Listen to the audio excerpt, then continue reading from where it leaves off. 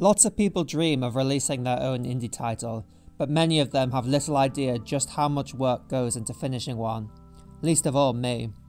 Over the years, I've started many, many new projects with the naive idea that this time, this will be the one that I'll be able to finish, only to give up a few weeks later when I realise that I've bitten off way more than I can chew. So this time, I've decided to try and correct my past mistakes.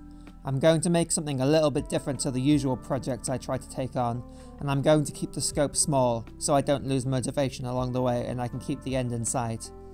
So in this video, I'm going to show off what the first 100 hours of work on my game, codenamed Growth, looks like, to give you, as well as myself, a better idea of just how much can actually be achieved in this time.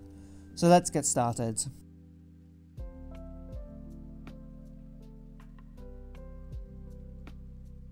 So here is what growth looks like as it stands. At its core, growth is a game about houseplants. You buy plant starters, water them, prune them, repot them, and then watch them thrive. It's an incredibly simple concept, but as someone who keeps many houseplants myself, I think the simple pleasure of caring for your plants and watching them grow is a reward in itself. Although there are now many casual games that touch on this concept of looking after plants, I'm surprised there haven't been any to focus solely on this mechanic and to approach it from the more simulationist perspective as I'm planning to. The other core aspect of growth is that using the money you make by selling plant cuttings, you'll also be able to buy objects and furniture to decorate your room, similar to something like Animal Crossing. This is now a well tested mechanic in games, and I think it speaks for itself why this mechanic will appeal and how it fits into a cozy game like this.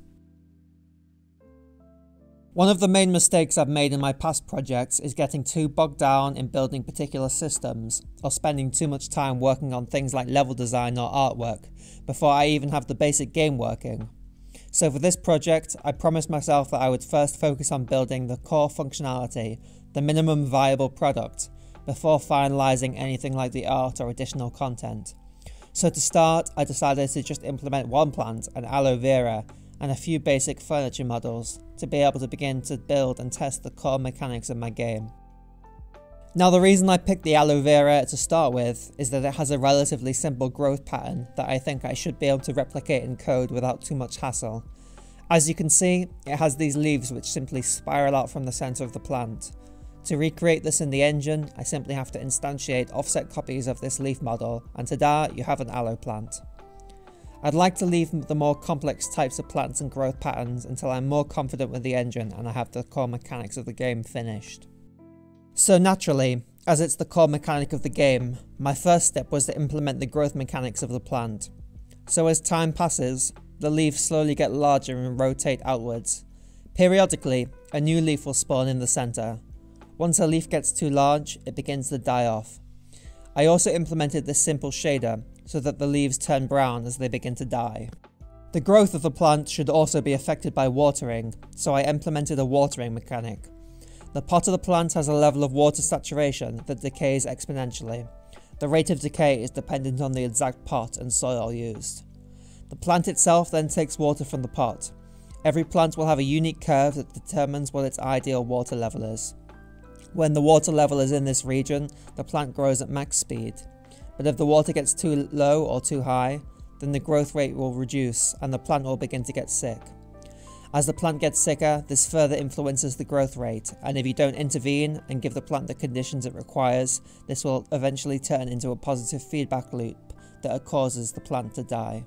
Now that I had the core growth mechanics working, the next thing I wanted to be able to do was pick up and move furniture about. This turned out to be simple enough, there was one aspect though, which turned out to be so much more complicated than I originally thought. In most games that allow you to pick up and place units or furniture, when you hover over an area that is already taken up, there will usually be a simple indicator that shows that the furniture can't be placed, such as it turning translucent. In my game, I instead wanted the furniture to automatically move to the nearest available spot. Once I started working on this, however, I quickly realised why most games take the other approach, as this is actually quite a difficult problem. After trying a few approaches, I eventually settled on this iterative approach. Firstly, we try to place the object at the mouse's position and see if it collides with anything.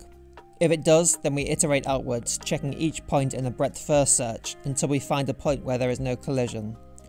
As you might imagine, doing this number of collision checks is very CPU intensive, so we make a slight modification to this. We instead only check a handful of points that are relatively spread out from one another. Once we then find one that is valid, we slowly move the object back towards the original hit point until a collision first occurs. This will then be the final position for the object. As you can see, this approach works very well. This is still rather intensive on the CPU however, so I'll have to see how this performs on lower end computers. If the performance is too bad, then I'll revert to the other approach. If any of you have any ideas to improve the performance of this algorithm further, please let me know in the comments. The next step was to actually implement the UI that would allow you to water the plants, as well as performing other actions like pruning, and so far I had just been doing this with this simple console that I implemented. To this end, I created this inspection panel which shows you the light level, which isn't implemented yet, water level, and overall health of the plant. This UI is pretty ugly, in fact it's the default look for Unity UI, but bear in mind that I'm only focusing on functionality right now, and the UI design will come later. From this menu you can water the plant, and when doing so the shader on the soil darkens to show that it is wet. I also implemented the ability to prune leaves away so you can keep the plant looking tidy. The next features I wanted to work on were the shop and inventory. To do this, I created a data format that could hold all of the information about the objects when they are not placed as game objects in the world.